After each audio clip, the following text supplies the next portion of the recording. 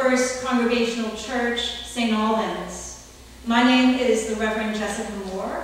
I am joined this morning with Stephan Conrady on piano, Erin Grainger, our music director, and Lane McElree, our videographer this morning. First Congregational Church is a member of the United Church of Christ.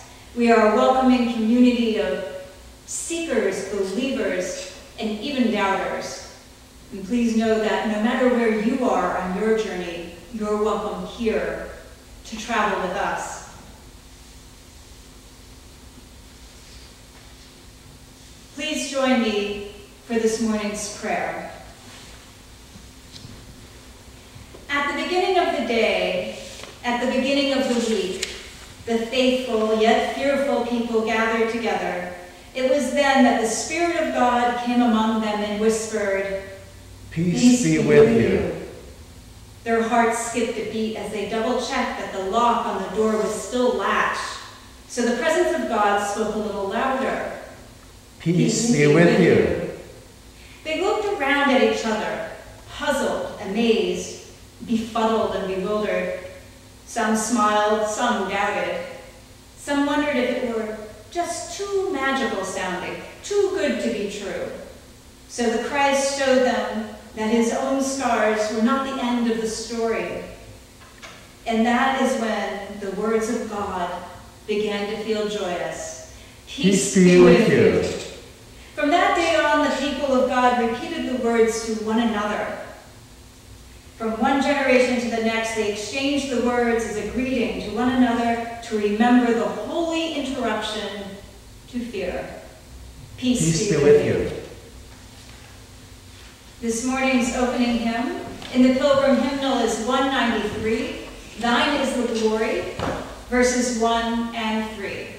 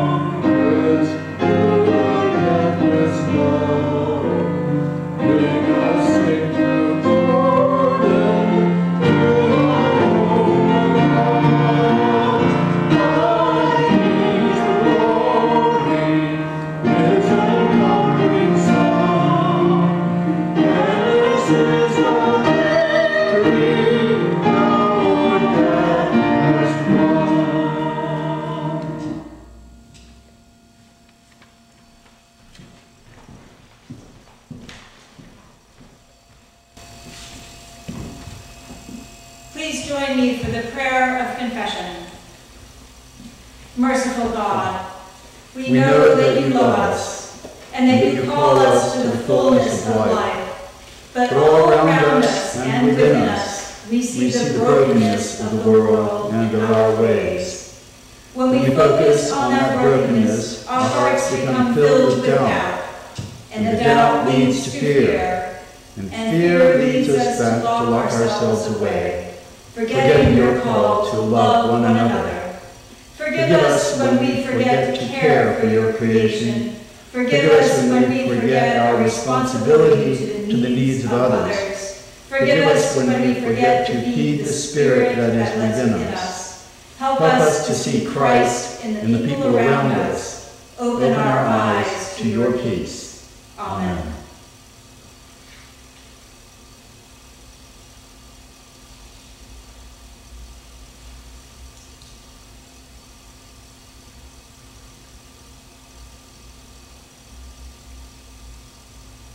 I sometimes wonder at our hour-long worship services when so much of our experience can be summed up in one phrase, and that is that God loves you unconditionally. Be reminded of that today and every day. Amen.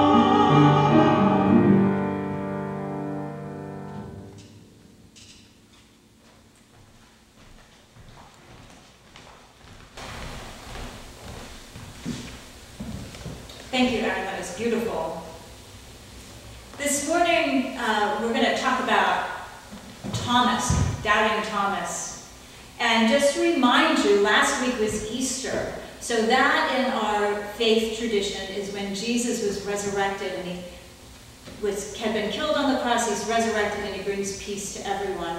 Now, last week we found out that, uh, that Mary had been there and she was supposed to go off and tell the disciples and Peter that Jesus had risen.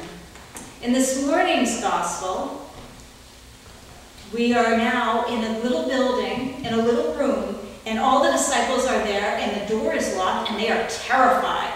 Jesus had just been killed, and they heard now that Jesus was back to life. That was pretty scary. And in the midst of all of this, suddenly, with the door still locked, suddenly Jesus is right there in front of them all and says, Peace be with you. And, and they were so shocked and taken aback, they had to say it again be with you. And suddenly they, they were confused, and he shows them his hands where he was wounded, and they rejoice. It is Jesus. And he's bringing them peace, something they really needed. He breathes on them and commissions them to continue his work in the world. And they were so excited, and they couldn't contain themselves.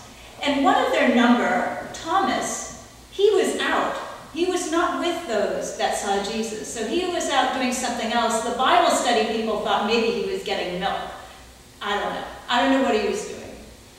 So he comes back in, and all of his friends say, You wouldn't believe it. Jesus was just here. He showed us his wounds, and he told us to keep doing his mission work. And Thomas said, I don't think so. Jesus is dead. I don't believe until I see those injuries, until I see him with my own eyes, I'm not going to believe. And that's where the term doubting Thomas comes from. So Thomas didn't believe his friends, doubting Thomas. And frequently when we hear the term doubting Thomas, we think it's negative. Don't be a doubting Thomas. Well, we are Christians and we are supposed to believe. But I think doubt is good. Doubt shows that you're thinking. Doubt shows that you're thinking and you're open to all sorts of possibilities. And without doubt, can we have faith? Let us have a prayer.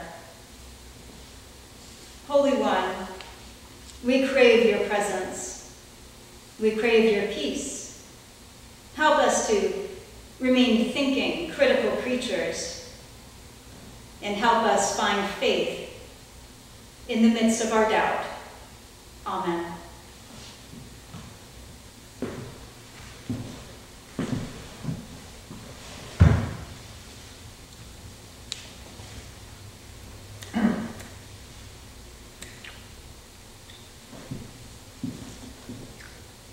Technical difficulties with human being here. I wish you all could have seen that three people waving at me all at once. I felt famous. This morning we have two readings. The first is from Acts. It's chapter 4, verses 32 through 35.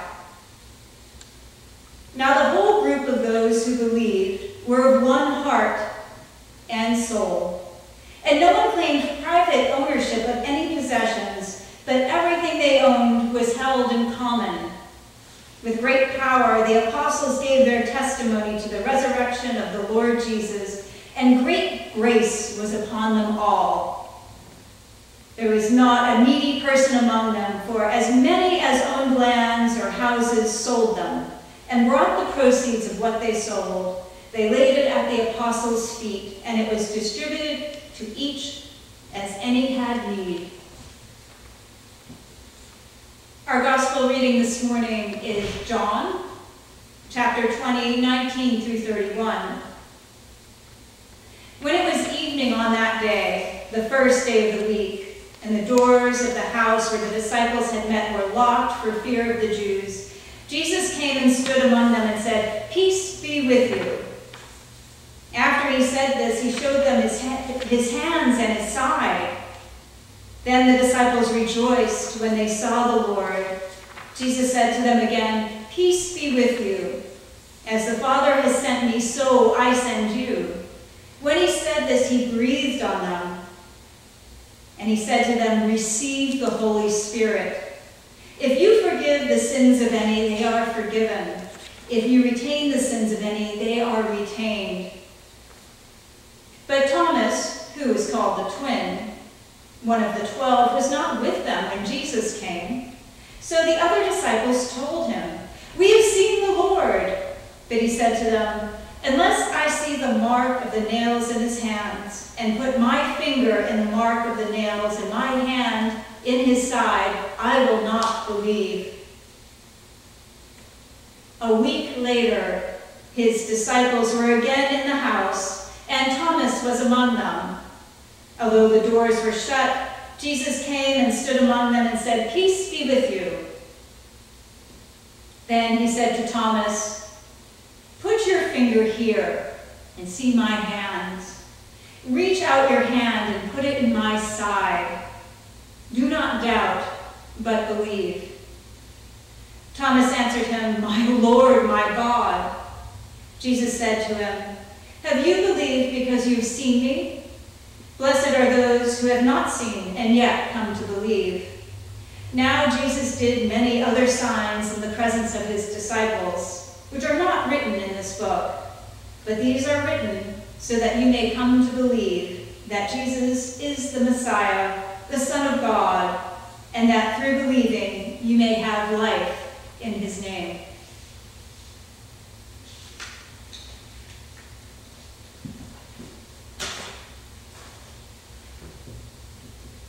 May the words of my mouth and the meditation of my heart be acceptable to you, O God, my strength and my Redeemer. I like to write sermons, which is probably no surprise to you that someone who likes to write sermons would become a minister. I love discussing and learning about different theologies, experiences, ideas, and we do that a lot during our Bible study during the week.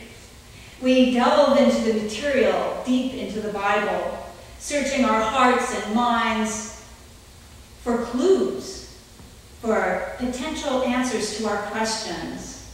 Questions, the words for which are difficult to even come up with.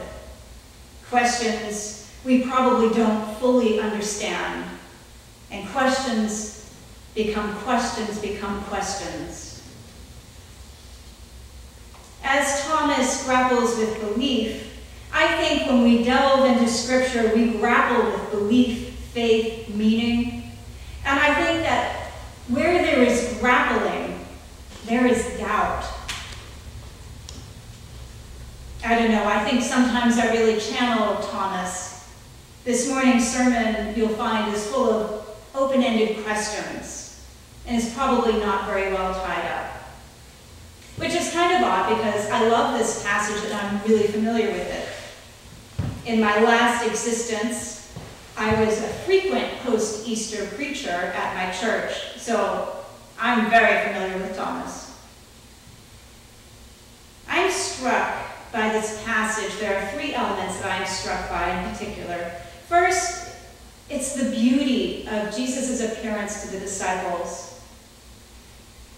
I'm struck that Thomas remains with the disciples even though he hadn't seen Jesus and doesn't believe their story. And I'm struck, I'm struck that the disciples and then Thomas identify Jesus and the holy through Jesus' wounds of the crucifixion. It's a multifaceted story, a familiar one, and it begins with one of my favorite scenes in the entire New Testament. The disciples are in lockdown mode. That's something I think we're all familiar with at this point. They're afraid. They're in hiding. And for good reason. Their leader had just been brutally executed and tortured. The door is locked. No one can get in. No one wants to leave.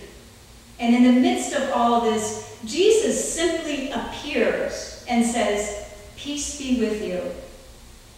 The disciples rejoice.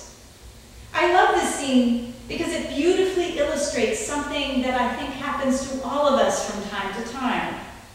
Finding ourselves locked down, shut down, fearful, grumpy, unwilling to open. And then something happens.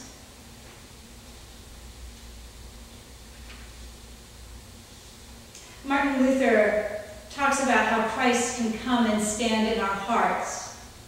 He writes, Christ entering through closed doors and standing in the midst of his disciples denotes nothing else than that he is standing in our hearts. I think we can experience his holiness in various ways. Maybe a friend calls from out of the blue. Or we hear the laughter of children. Or perhaps when we pass the peace during a church service, something breaks through to us. It gets to us. It walks through that locked door of our minds, our hearts, and frees us from our self-made prison. I remember a, a time I was doing street ministry. It was a Sunday, and I was chatting to a large group of people, and they were younger and tougher than my usual folks that I chatted with. They were pretty pleasant until one of them, one young man, very angry to begin with and troubled, noticed that I had a little Dunkin' Donuts card, and he demanded the Dunkin' Donuts card from me. And it was claimed someone had asked me for it earlier, so I was hanging on to it until I saw that person. So I said, I can't give it to you. I don't really have one. It's for someone else. And he started yelling at me.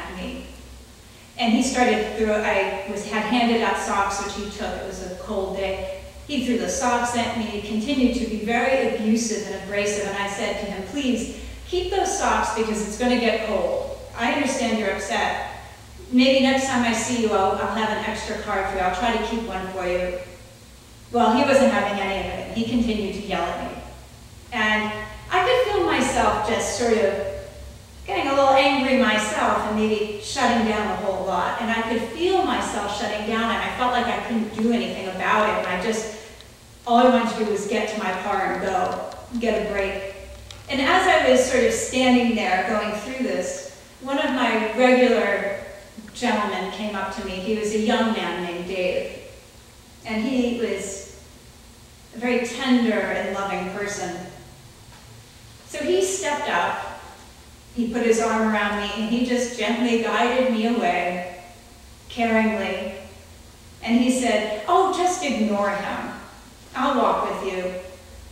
It was a peace be with you moment. His kindness and care opened me back up. And instead of going home or pouting in my car, I was able to let it go and continue my work. I was able to understand the hungry young man as the wounded, poor creature of God that he was, just like all of us. Dave really broke through to me. Jesus, having broken through to his disciples, shows them his wounds, claims them, brings them peace, then breathes on them commissions them to do his work. So it's understandable that the disciples were excited to tell Thomas about their experience with Jesus. But Thomas doesn't believe them. Unless I see the marks on his hands and put my finger on the mark and my hand in his side, I will not believe, he says. I can't really blame him. So maybe instead of calling him doubting Thomas, we can call him honest Thomas. And one week later, the disciples were again in the house, the doors were shut, Jesus came and stood among them, but this time, this time Thomas was there. And Jesus says, peace be with you, and he says to Thomas, put your finger here, put your hand here. Reach out, do not doubt, but believe. And Thomas says, my Lord, my God. Jesus closes with, Blessed are those who have not seen, yet have come to believe.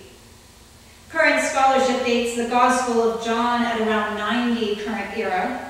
Many understand the story of Thomas to be specifically aimed at John's community and those that have come since, whose members have never, never knew Jesus. That is, they had to come to believe without seeing. I think now how we view Thomas culturally has changed over time. Thomas has been seen as a shameful character. He didn't believe his friends and therefore didn't believe in God. He's someone we didn't want to be like. But more recently, it seems that people appreciate his critical thinking. We admire science and reason. Thomas can represent that. Even so, I think we're not fully getting Thomas. So maybe instead of doubting Thomas or honest Thomas. Maybe we should call him misunderstood Thomas. But what is it we're not getting? Episcopal priest and Patheos contributor David Henson notes that a full week had passed between Thomas's famous denial, I will not believe, and when Jesus came for a second time and he cried, My Lord, my God. A full week. What happened? Why did Thomas stay? Thomas is still with his fellow disciples, even though he didn't believe them. He must have felt like the odd man out. And I think this points to the type of faith that Thomas had in Jesus, or perhaps even more broadly, the faith he had in Jesus' mission and his role in Jesus' mission. Was it so important for Thomas to believe that his, his friend's tale when his own faith was that true? So maybe instead of doubting Thomas, honest Thomas, or misunderstood Thomas, we should call him faithful Thomas. And we should be reminded that this isn't the first time that Thomas went against the grain with his fellow disciples. Earlier in the Gospel of John, Jesus and his fellow disciples received news that Mary's brother Lazarus was gravely ill. Jesus said, Let us go to Judea again. And the disciples said to him, Rabbi, the Jews were just now trying to stone you, and you're going there again? Thomas, who was called the twin, said to his fellow disciples, Let us go also, that we may die with him. It's interesting to me that someone who is willing to go to his death with Jesus would then be typically understood as the doubter. And it makes me wonder about the relationship between belief and faith. I think for Thomas, it's a head versus heart situation. His head wants hard facts, guiding him from a place of insecurity based on his experience of a hard world.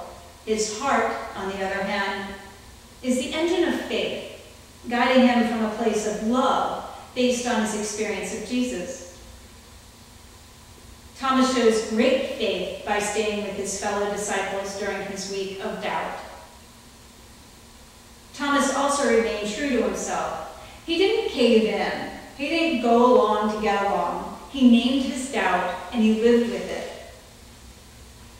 When I was still running a faith formation program, we had a delightful small group of confirmands.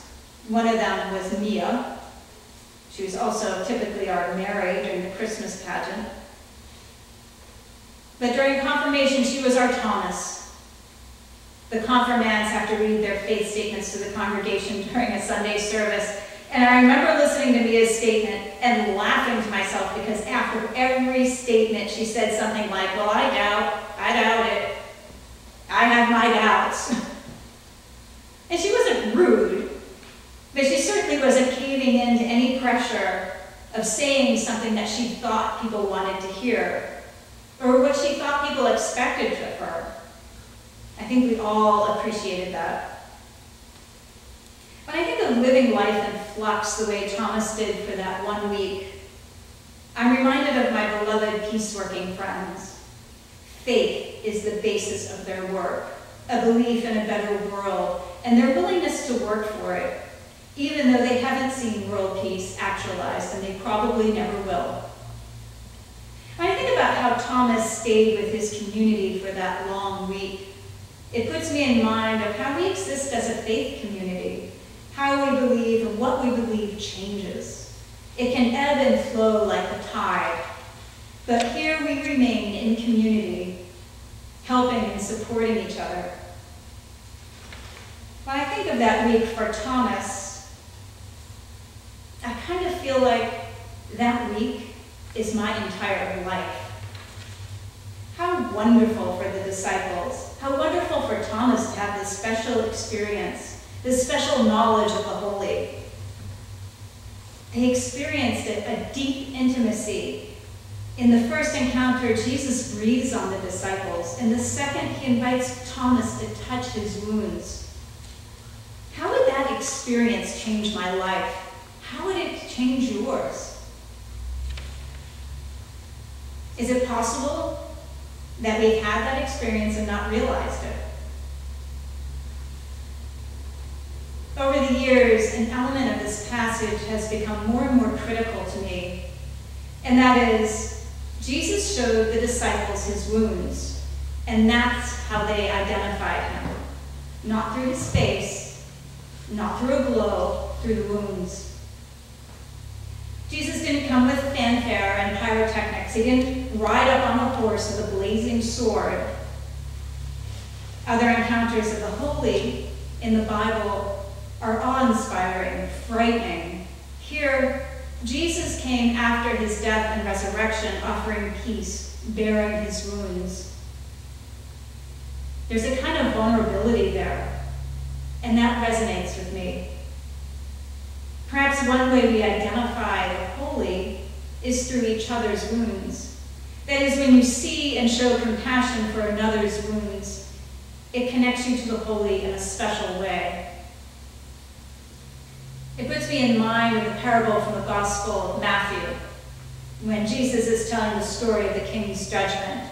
He says, I was sick and you took care of me. I was in prison and you visited me. And the people say, When were you sick? When did we visit you in prison? Truly I tell you, just as you did it to one of the least of these, you did it to me. So much of today's world is about creating fear, keeping us in our own little blocked rooms. And that's even before there was COVID. And this intense isolating of 2020. But this isolating movement has been happening. It was just more subtle. It's always been too easy to buy into the fear of scarcity, where we must gather stuff and protect what's ours. That really became apparent after the toilet paper shortage and the food shortages of the early COVID shutdown, but it's not new. It just became on steroids. We're mesmerized by technology. We're screen addicts. And while this past year, technology has helped us stay connected, it also inundates us with a sense of insecurity. Our sense of self is so linked to the numbers of likes we get. The terrible news of the day is played over and over again. We can't get away from it. Our self-value is governed by corporate advertisements which tell us we're inadequate, lying will never be good enough. You can't be happy until you buy this or that. And we reward these liars with positions of power because they tell us they're all after your stuff. I'll protect you. We're engrossed by technology and media that encourages polarization. Don't be like Thomas in doubt. Just hold on to an idea and defend it to death. Otherwise, you seem weak and vulnerable we lose our true selves. Our screen addictions, social media, advertising breed fear, and we become prisoners in locked rooms, afraid to leave. This insanity has been enhanced by the American myth of hyper self-sufficient individualism. Don't let them see you cry. And that's so often where we are. Distanced, going along to get along, fearful of the repercussions if we do step out of those locked rooms. And then something happens. Someone like my friend Dave suddenly appears, poor, abused, neglected, damaged, a lifetime of wounds apparent in his being. And in that moment, I'm in the presence of the holy, commissioned, reminded that the holy is always present. Amen.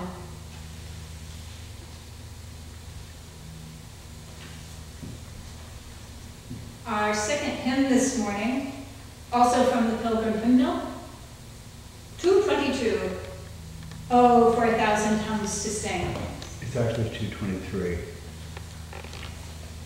It's actually 223.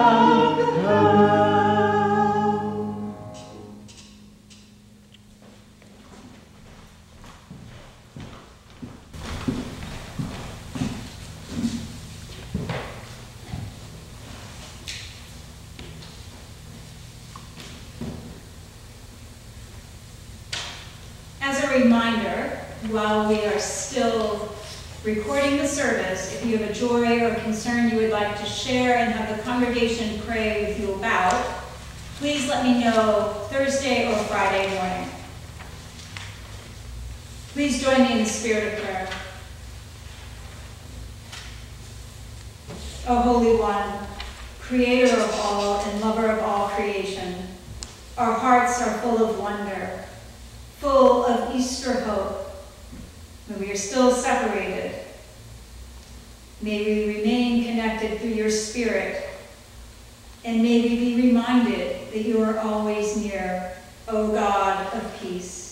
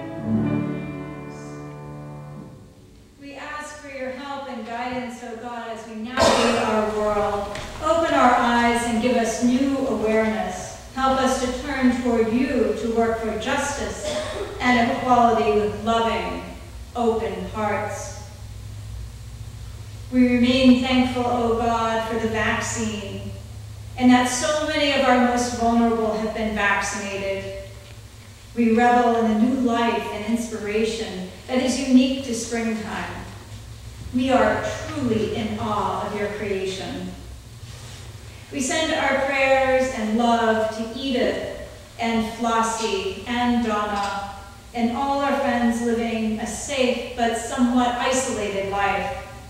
We pray for everyone who is experiencing loss or fear we pray for all the people living today with the repercussions of racism and colonialism.